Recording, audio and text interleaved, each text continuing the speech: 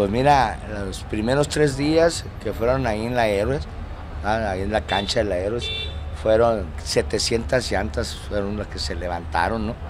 Entonces creo que vamos bien. Y ahorita estamos en la colonia del Valle, no, no la del Valle, la de Bellavista.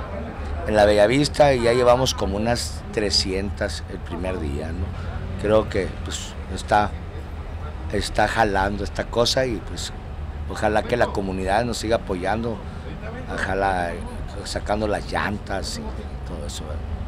Nos comentaba previo a la entrevista también que habían estado, que están trabajando la gente, eh, promoviendo que se acerquen al contenedor, llevándose de las mismas casas estas llantas. ¿Cómo es? Ah, así es, o sea, andan la cuadrilla de inspectores tocando puerta por puerta, diciendo que si tienen llantas, pues que las saquen a la orilla.